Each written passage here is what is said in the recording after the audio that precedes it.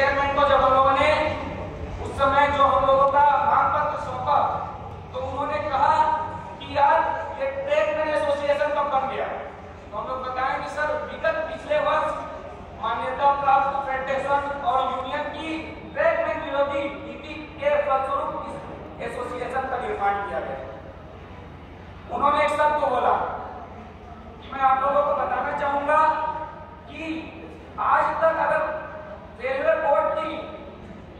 the